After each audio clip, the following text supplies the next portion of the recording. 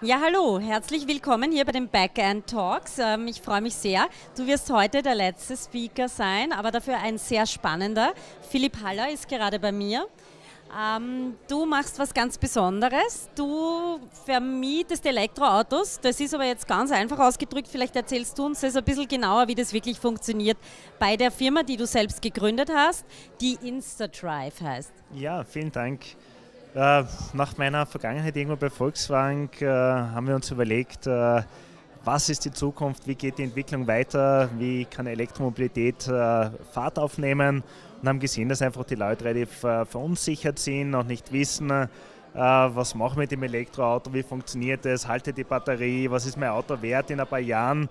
Und es ist extrem viel Unsicherheit da und die, die wollen wir rausnehmen wollen einfach ein, ein Sorglospaket dem Kunden äh, anbieten, wo er, wo, er sagt, okay, ähnlich wie beim Leasing äh, auf drei Jahre, 20.000 Kilometer, monatlich habe ich meinen fixen Preis, zum Beispiel 400, 400 Euro. Ähm, und da ist eben alles schon inkludiert, von Versicherung über Wartung und danach gebe ich das Auto zurück. Inklusive ähm, eigenem äh, Plugin daheim, das ich aufladen kann in der Nacht oder wie?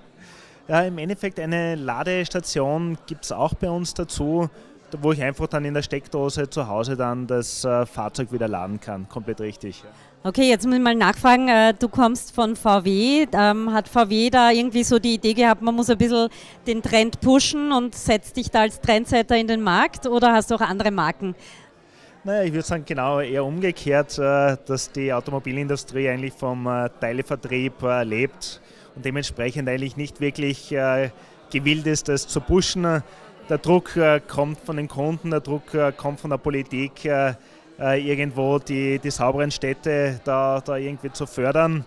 Und, ähm, und deswegen sagen wir auch, ja, wir, wir geben dem Kunden ein, ein faires Angebot, machen es dem Kunden leichter und äh, der Kunde muss im Prinzip die Industrie pushen, dass die auch die richtigen Fahrzeuge in der richtigen Volumen dann einmal endlich zur Verfügung stellt. Das heißt, du glaubst an Elektromobilität, weil es ist ja so, dass ja auch diverseste andere äh, Arten von Antrieben derzeit ähm, im Versuchsstadium oder auch in der Umsetzung sind, von, ich weiß nicht, der Wasserstoff bis zu äh, Hybrid sowieso. Und ähm, bei euch ist reines Elektroauto oder ist das sehr unterschiedlich, die Dinge, die wie eure Fahrzeuge betrieben werden, die ihr, die ihr vertreibt? Nein, sehr, sehr gute Frage, sehr guter Punkt. Ich glaube, das ist eigentlich derzeit das Hauptproblem. Und ich glaube auch, dass es ganz bewusst geschürt wird, äh, diese Verunsicherung, äh, diese, diese Fragestellungen, was kommt, ist es Wasserstoff, äh, ist es Brennstoffzelle, was auch immer.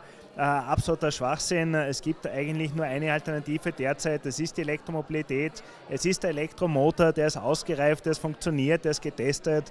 Norwegen lebt uns vor, China lebt uns vor. Es gibt überhaupt keinen Grund, dass man das nicht stärker forciert und genau mit, diesen, äh, mit dieser Frage, was kommt als nächstes, bremst man eigentlich die derzeitige Umsetzung von der Elektromobilität und die ist reif und gehört einfach nur ausgerollt und äh, da helfen wir mit.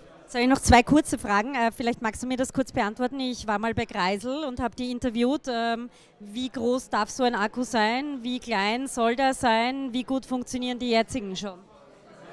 Naja, ich komme jetzt ähm, zwischen 200 und 300 Kilometer, Tesla sowieso äh, weit drüber, bis zu 500 Kilometer. Es kommt jetzt der Jaguar I-Pace, der Audi e-tron äh, mit Reichweiten 400, äh, 500 Kilometer. 2020 äh, äh, kommen dann die, die nächsten Fahrzeuge. Dementsprechend ist man mit, der Reich, mit dem Reichweiten-Thema äh, bald durch. Also ja, ja, und, und Ladezyklen, Festigkeit, äh, überhaupt kein Thema, die sind halten. Okay, Frage, ähm, mit wie viel Euro bin ich dabei, wenn ich monatlich ein Auto mieten möchte? Also bei uns geht es los ab 200 Euro. 200 Euro? Was, da kriege ich ein ganzes Auto schon? Ja, das Smart äh, ist man mit 200 Euro dabei. Mit der Anzahlung? Ja, natürlich ist eine, eine gewisse Anzahlung dabei. Aber ich sage jetzt, ein, ein, Durchschnittsauto ist mir irgendwo bei 500 Euro und da ist halt wirklich die, die Vollkasko, die Wartung, die Vignette und, und alles dabei. Und wenn man sich das durchrechnet und die einzelnen Positionen selber zahlt, da ist man sicher immer teurer. Okay, äh, gibt es eine Marke, die du empfiehlst derzeit, die wirklich voran sind? Ähm, ich muss das her sagen, da kommt es wirklich auf den Anwendungsbereich äh, drauf an.